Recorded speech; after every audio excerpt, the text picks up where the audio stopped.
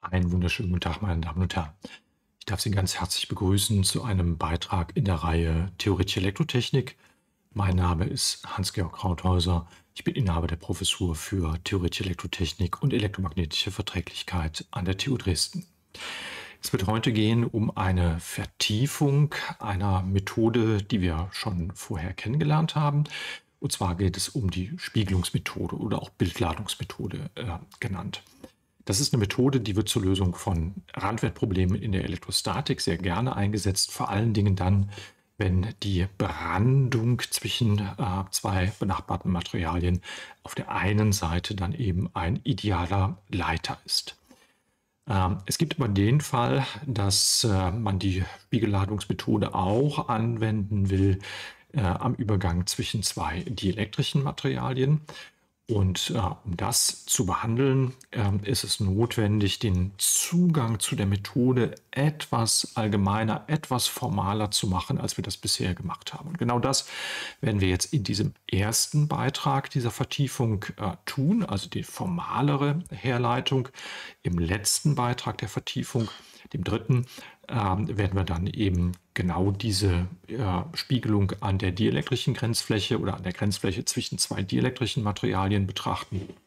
Und dazwischen äh, haben wir einen Beitrag, wo wir eine ganze Reihe von Beispielen uns mal anschauen werden, ähm, ähm, wo wir ähm, Probleme betrachten. Ähm, auf der einen Seite Dielektrikum, auf der anderen Seite metallische Begrenzung ähm, Probleme betrachten, die wir auch vorher schon gelöst haben. Und das Ganze dient ein bisschen daran, äh, dazu, äh, dass Sie diesen Formalismus noch mal etwas äh, einüben, einüben können, bevor wir dann eben im dritten Teil zur Spiegelung an der dielektrischen Grenzfläche kommen. Gut, ähm, lassen Sie uns ähm, einfach äh, beginnen. Äh, hier ist nochmal der Verweis äh, darauf, äh, wo Sie die Materialien finden für, äh, die, äh, für den klassischen Zugang zur Spiegelungsmethode. Das hatten wir also im Beitrag Elektrostatik 5 ähm, gemacht. Und ähm, ja, wie gesagt, dabei ähm, war die Beschränkung auf idealleitende Ränder. Das ist das, was wir gleich auch als erstes erst nochmal beibehalten wollen, aber immer im Hinterkopf behalten, dass wir das verallgemeinern wollen. Und diese äh, Zielstellung der Erweiterung, das ist eben gerade eben äh, die Grenze zwischen zwei dielektrischen Materialien und dafür müssen wir es eben etwas formaler angehen. Schauen wir uns also zuerst mal das Grundproblem an. Das Grundproblem ist eben, wir haben zwei Volumina. Volumen 1 ist das Volumen, in dem wir das Problem auch lösen wollen. Ähm, und Volumen 2 äh, ist ein anderes Material, in dem uns die Lösung jetzt aber zunächst mal äh, nicht interessiert. Vielleicht deswegen, weil wir sie dort schon können. Also stellen Sie sich vor, so wie das hier gezeichnet ist, Sie haben außen ein Dielektrikum und ähm, hier im inneren Bereich im Volumen 2 ein ideal leitendes äh, äh, Material, dann würden Sie für das elektrostatische Problem in V2 die Lösung ja schon kennen. Da ist das Feld 0. Ähm, also müssen Sie es da auch nicht berechnen und somit ist das Grundproblem eben die Lösung des Volumens in V1. V1 nehmen wir als einfaches Dielektrikum an. Das heißt, hier ist einfach eine Dielektrizitätskonstante Epsilon 1. Das kann Vakuum sein, muss aber eben nicht Vakuum sein.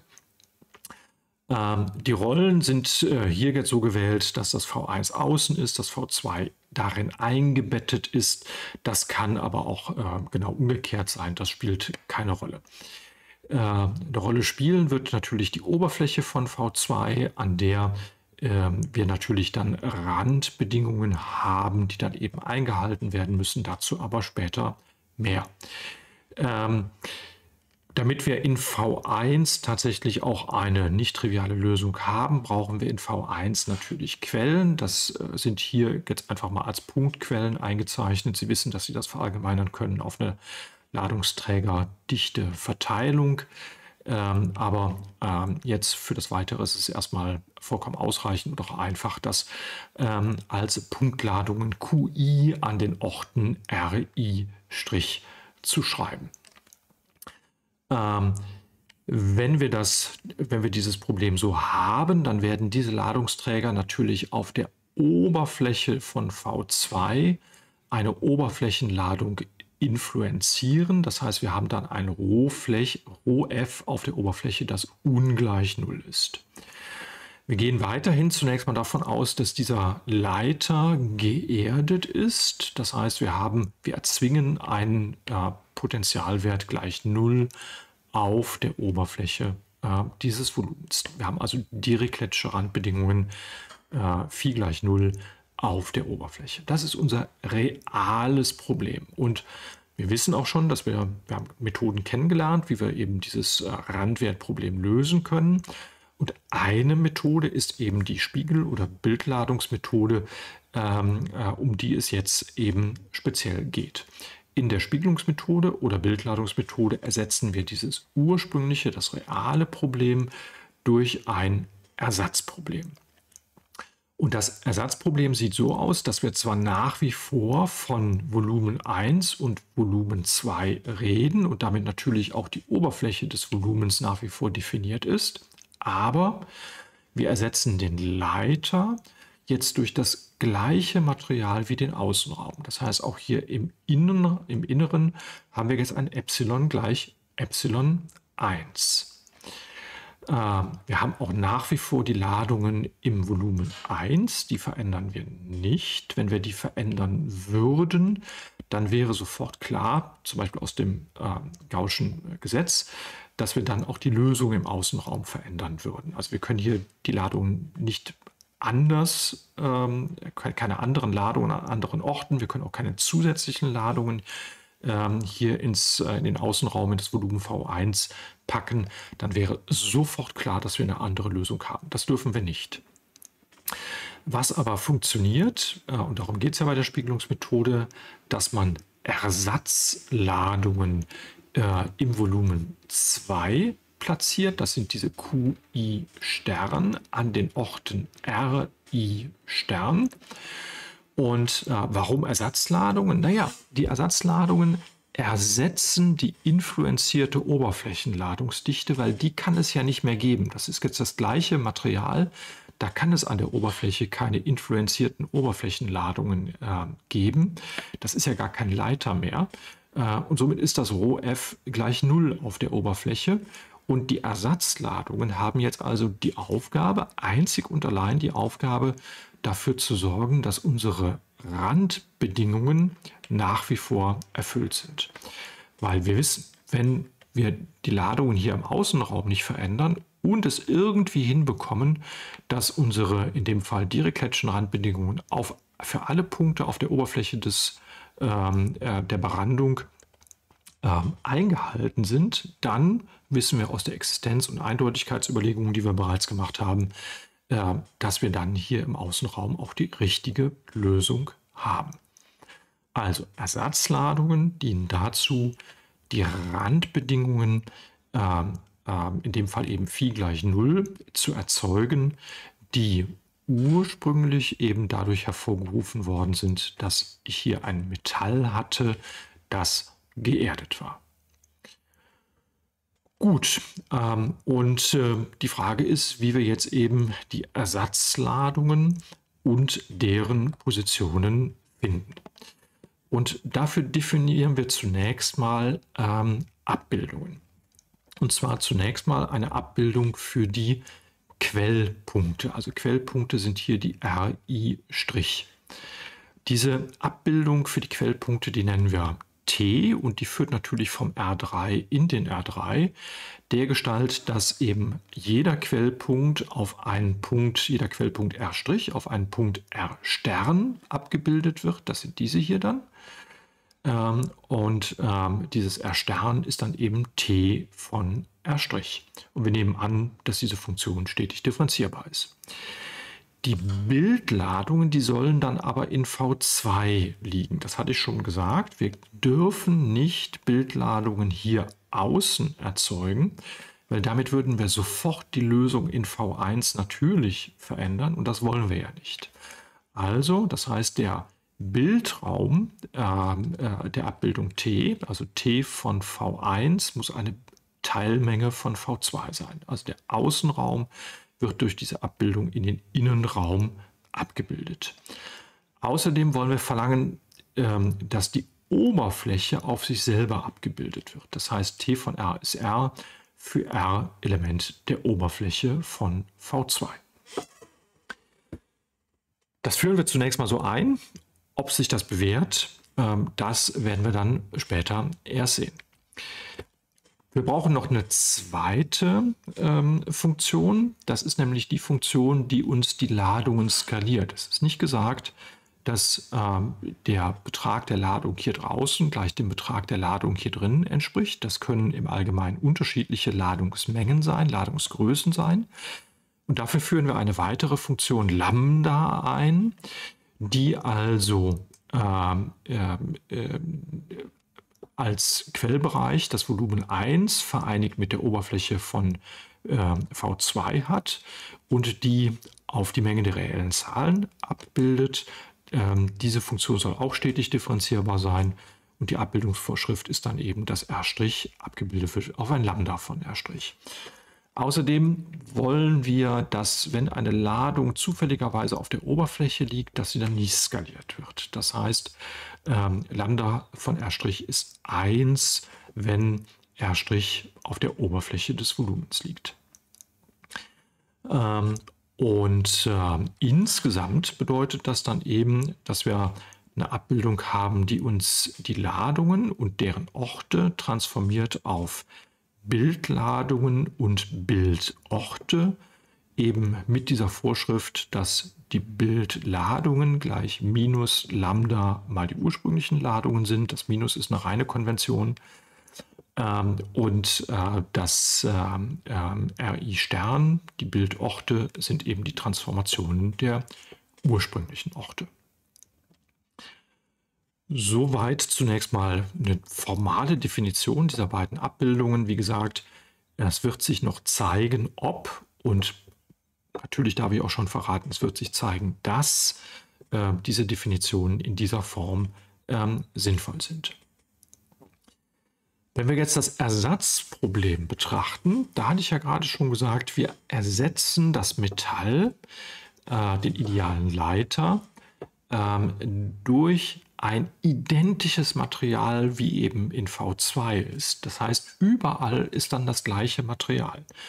Und damit äh, kann ich das Ersatzproblem natürlich mit Hilfe der Greenschen Funktion des Freiraums ähm, ähm, ähm, lösen, weil das ist ja jetzt ein durchgängiges homogenes Medium. Ich habe für das Ersatzproblem überhaupt kein Randwertproblem mehr, sondern ich habe ein Problem ohne Ränder. Ähm, und deshalb, deshalb kann ich natürlich auch die Greensche Funktion des Freiraumes äh, dafür nehmen. Äh, aufpassen, hier steht nicht Epsilon 0, sondern hier steht Epsilon 1, weil wir das verallgemeinert haben.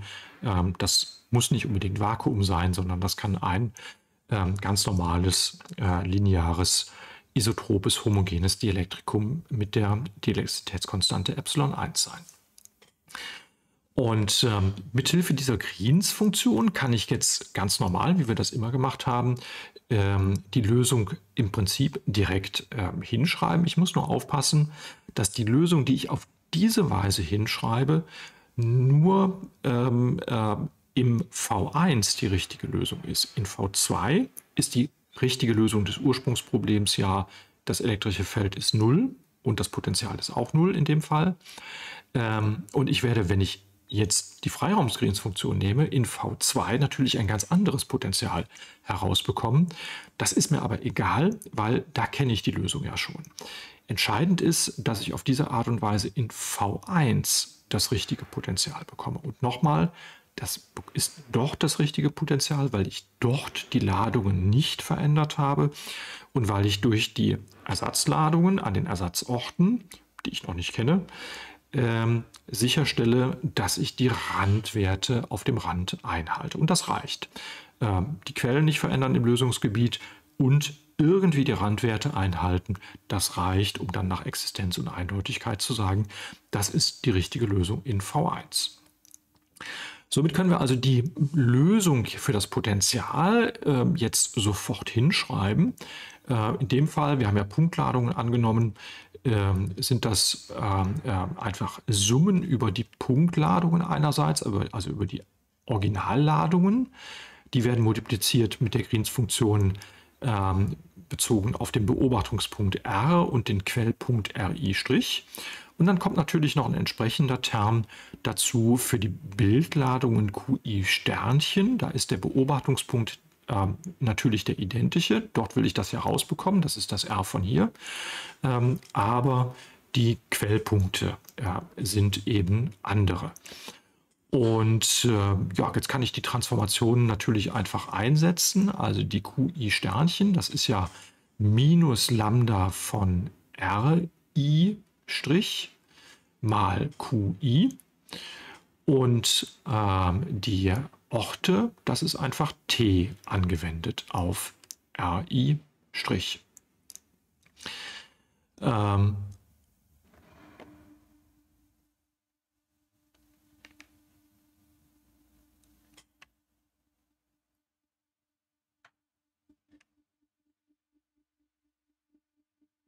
Und ähm, ich habe gerade gestockt, weil, weil hier fehlt offensichtlich etwas. Also äh, was passiert im nächsten Schritt?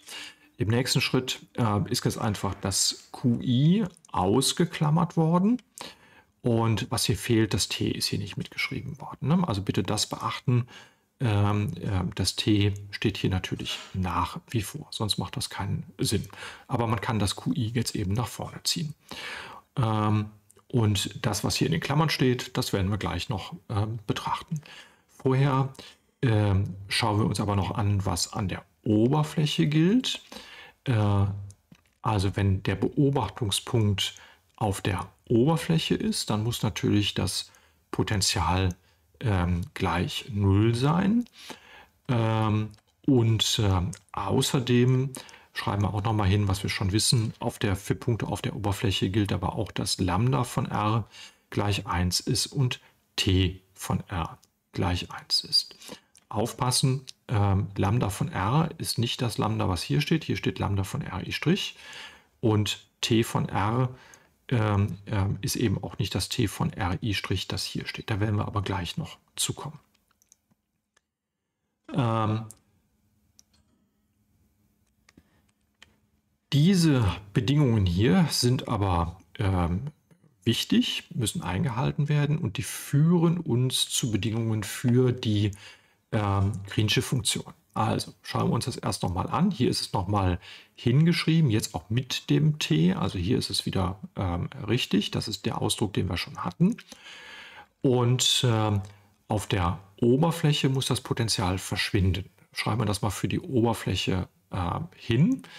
Äh, das wäre ja dieser Ausdruck, der jetzt gleich 0 sein muss. Das ist zunächst mal einfach der gleiche Ausdruck, der muss 0 sein, aber eben nur, wenn R auf der Oberfläche von V2 liegt. Ja, und was ist denn hinreichend dafür? Wir wollen jetzt gar nicht beantworten, ähm, wie kann das insgesamt, wie können Lambda und T insgesamt aussehen, ähm, damit das verschwindet. Aber wir können einen Fall angeben, äh, bei dem das ähm, auf jeden Fall gewährleistet ist. Nämlich, ähm, das ist gewährleistet in dem Fall, wenn wir dieses Lambda RI GRTRI also das, was hier steht, wenn das gleich wäre mit Lambda von R G von T von R, und dann RI', also die Transformation hier nach vorne gezogen und dafür bei Lambda ähm, auch die ähm, Quellpunkte durch die Beobachtungspunkte ersetzt. Wenn diese auf den ersten Blick etwas merkwürdige Eigenschaft, wenn die erfüllt wäre, dann könnten wir ja jetzt ausnutzen, dass für Lambda von R gilt, dass das 1 ist und dass T von R gleich R ist auf dem Rand. Und dann sieht man, dass dieser Term hier hinten dann gerade das wäre, was hier auch steht. Das heißt, wenn diese Bedingung erfüllt ist, dann steht hier GRRI' minus GRRI' und dann ist die eckige Klammer auf jeden Fall 0 und damit ist dann natürlich auch die komplette Summe gleich 0. Also, das ist eine hinreichende Bedingung. Ne? Nämlich dann gilt, hier ist es nochmal hingeschrieben, äh, dass das hier gleich, dieser Faktor hier gleich 1 ist. Das hier ist dann die Transformation und damit ist das genau wieder die Greensche Funktion, die hier auch schon steht. Und die zieht man dann einfach voneinander ab und dann ist die Klammer auf jeden Fall 0. Diese Eigenschaft, die wir jetzt noch häufiger brauchen werden und die, wie gesagt, eine hinreichende Eigenschaft dafür ist, dass die Randbedingungen eingehalten werden, die bezeichnet man als das Umwälzen vom Quellpunkt zum Aufpunkt. Und das werden wir, wie gesagt, noch häufiger benutzen. Wenn das der Fall ist, dann können wir, ähm, hier ist das nochmal hingeschrieben, ne? also wenn wir diese Eigenschaft haben, das ist das Umwälzen vom Quellpunkt zum Aufpunkt, ähm, dann ähm, ähm, ähm können wir das natürlich sofort auch äh, einsetzen und dann ist eben dieses Potenzial automatisch Lösung des ursprünglichen Problems. Egal, ob ich das dann so hinschreibe oder ob ich das so hinschreibe. Also nicht umgewälzt und umgewälzt, das ist dann egal, das ist ja identisch. Aber äh, es ist dann sichergestellt, ähm, dass die Randbedingungen ähm, eingehalten werden und ähm, auf der anderen Seite habe ich im Außenraum in V1 ja die Ladungen nicht verändert und damit ist das die eindeutige Lösung für das Problem. Ja, und wenn Sie hier hinschauen, ähm, jetzt nimmt das ja wieder die Gestalt ein, dass hier im Prinzip immer nur steht, Summe über Ladungen mal eine Funktion. Und das ja, ist ja im Prinzip Ladung mal Greens Funktion.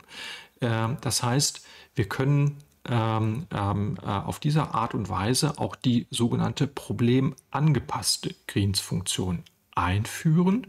Die problemangepasste Greens-Funktion ist genau die, die wir jetzt gefunden haben, also Funktion des Freiraums minus Lambda von R, G von T von R, RI Strich. Ähm, wenn wir das richtige Lambda haben und wenn wir das richtige t haben, dann wissen wir, dass wir mit dieser Greens-Funktion das Problem lösen können, formal die Lösung hinschreiben können, indem hier dann einfach steht Summe über i, qi mal die problemangepasste Greens-Funktion. Ähm, das heißt, wenn wir das Lambda und das t gefunden haben, ist das Problem gelöst. In der problemangepassten Greens-Funktion, ähm, die ist eben so modifiziert, ähm, dass die Randbedingungen automatisch erfüllt werden. Das heißt, ich kann dann das Problem so lösen, als wäre es ein Freiraumproblem.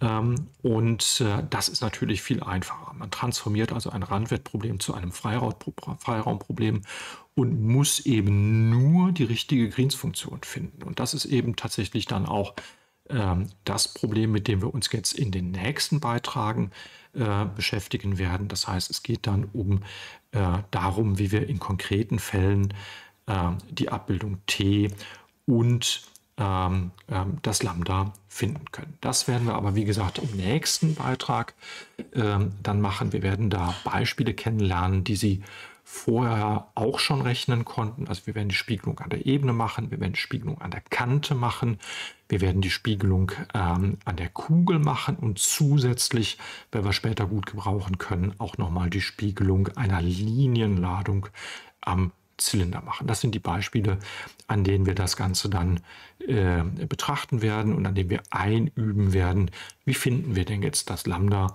und die Transformation T. Gut, das äh, soll dann auch ähm, äh, genügen. Ich bedanke mich für Ihre Aufmerksamkeit. Wie immer finden Sie auf der Webseite weitere äh, Informationen und äh, bis zum nächsten Mal dann alles Gute.